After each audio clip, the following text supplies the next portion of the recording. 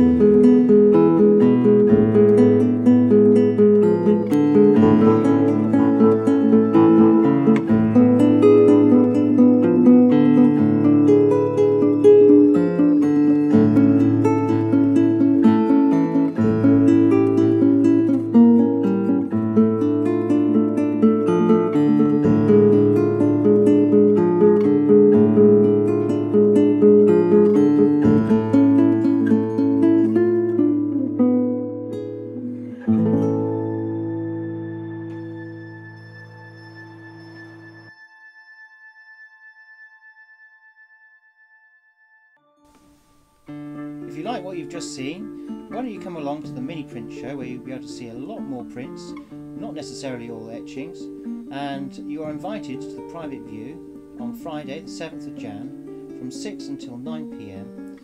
Nibbles, wine and music will be served.